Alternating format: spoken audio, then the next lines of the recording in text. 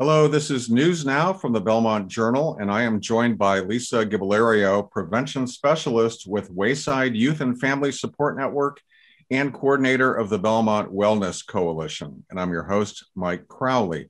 Today, we're talking about guidance for parents with children who are struggling. And thank you so much for talking with us about such an important topic, Lisa. So, um, let me start, Lisa, by by um, asking this. You know, we're heading into our 13 month of the pandemic. What is your sense of how kids are generally doing? Well, Mike, it seems from what I'm hearing, it does vary greatly. Um, some kids are really rolling along pretty well, and they've kind of adjusted to this new normal. However, um, there is more concerning news out there, not only in Belmont, but from national surveys that um, kids are struggling as well. The social isolation for 13 months is taking its toll. Kids are reporting feeling lonely, um, feeling hopeless. One of our student ambassadors on the Belmont Wellness Coalition reported that her ninth grade class, there's just a feeling of overwhelm, of despair, and of, of hopelessness, and that kids are just really waiting for the school year to end. So I think that there are sleep disturbances that are still happening, um, and we know that anxiety um, is present for a lot of kids. And an overall, for some kids, disinterest in school. So, again, some kids have adjusted. Some kids are super resilient and they're doing fine other kids you know there are some red flags that that we need to pay attention to. So it is so difficult lisa when you hear stories from people you know about kids who won't even get out of bed to attend school remotely. Um, but so let me ask you um, specifically what can parents do to support their kids who might be struggling? Right. So there are some I have like the top five greatest hits of what parents can do. And this, of course, is assuming that their child has not crossed over into something that's more pathological, into you know a depressive disorder or an anxiety disorder. But for kind of this garden variety hopelessness and loneliness that we talked about, first and foremost, parents need to be present to their kids. Check in with them on a regular basis. Set aside some time, maybe once, twice a week at least, just to say, how are you? What's up for you? You know, what are you feeling? You know, what's some what's some bad news? What are your concerns? And then ask your child, do you want to just kind of vent or let me know if you want any of my input? It's really important with um, teenagers, Mike, to allow them a space just to vent without parental input. Or maybe a kid does want some advice. So get that handled up front. Um, reassure your children that you are there for them, that you are willing to listen, that it's not a burden to be present and to listen. So they don't, they may feel like, ah, oh, mom or dad are going through enough of their own stuff. I can't share my stuff, but let them know that you can handle listening and taking in and absorbing what they have to say. I would say again, this is one of something I've said before on this show, but get your kids outside, especially now get them moving. You know, if you need to throw a little money at them to rake leaves or rake a neighbor's leaves, um, to walk the dog, it's really important to get your kids out and moving. We know, I mean, there's enough evidence based data that supports the idea that fresh air, physical exercise are helpful for our mental health. Um, if your kids do raise certain specific issues, help them to problem solve. You know, if they're missing their friends, this is the perfect time to say, look, we have 13 months of data. We know that outdoor transmission is incredibly low, especially when masks are worn. Let's arrange some meetups at a playground. Let's arrange, you know, for you to walk to the center with your friends. Um, let me help you do that. So problem solve. If they are sad about the lost year, you know, they, they missed their 16th birthday party or, you know, they, they're concerned about other losses, Brainstorm maybe things to look forward to in the summer as vaccinations increase. Maybe there's camps opening up again. Maybe there's a summer job that you could help them apply for. Um, perhaps your family may be planning a vacation tentatively. Um, so try to uh, identify things that they can look forward to. And of course, Mike, we know that kids look to the parents, even if it's not explicit. They are taking in what we are doing, what we are saying. So, to the best that you can, model, you know, good coping mechanisms, um, model, you know, perhaps exercising, journaling, listening to music, putting down your phone, um, and say out loud the, the silver linings. Identify something to be grateful for. Most of us can find something. You know, we were able to clean out the garage or spend more time perhaps with the immediate family. Um, identify those silver linings so that kids see that it's not hasn't been all bad.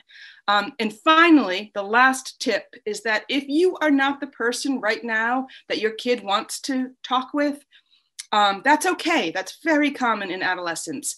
But try to suggest another caring, trusted adult, um, a former coach, a neighbor, an aunt, a grandparent.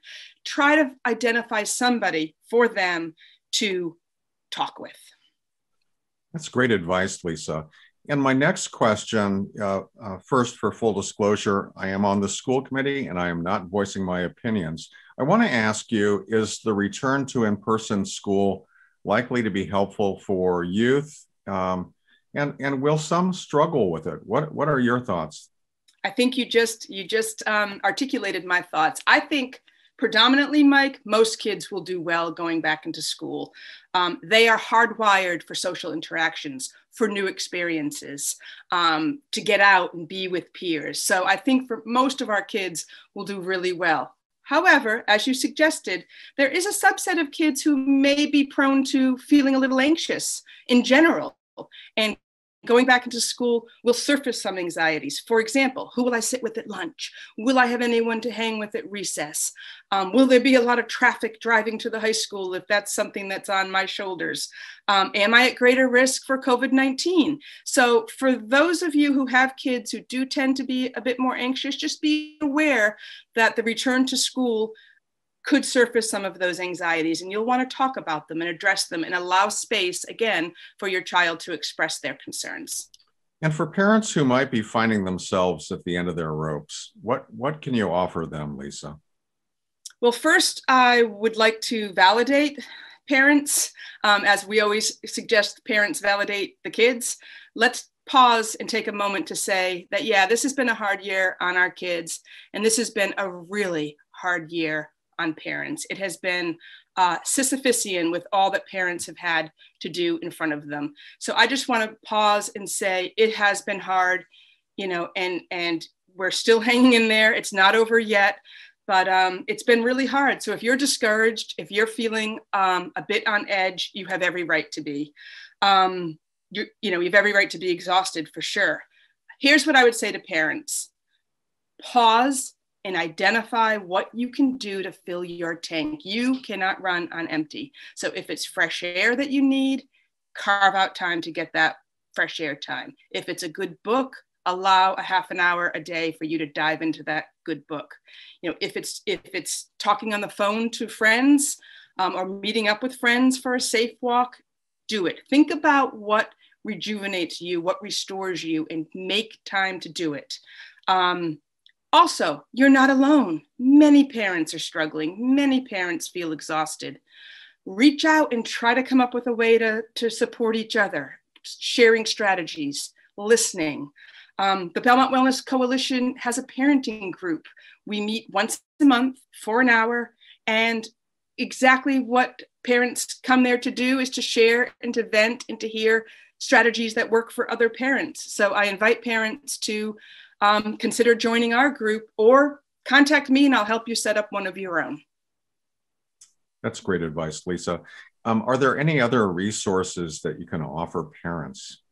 So, one resource, Mike, has to do with if you think your child has crossed over and may need professional help. A lot of parents are incredibly discouraged because the supply um, of therapists is way um, out of whack for the demand for those therapists. Basically, they just are not taking new patients. So, teencounseling.com is a resource that I've heard that can help identify therapists who are taking new patients. Um, Psychology Today also has a site. I would say contact your insurance company. They often have a list of therapists um, that are covered by your insurance. And Child in Mind is a website that I use all the time, and they will have resources for mental health and just parenting guidance in general. All right, and Lisa, just to mention another service that, that I'm aware of, um, um, teladoc.com, and there are others um, like this. Uh, work with many insurance companies, and they will refer you for phone and video visits to doctors, counselors, and psychiatrists. Great resource. Thank you, Mike. All right, Lisa, so much. I'm sorry. Thank you so much for walking us through this today. Such an important topic. This is Belmont Journal News Now. I'm Mike Crowley, and I'll see you next time. Yes, see you next time, Mike. Thank you.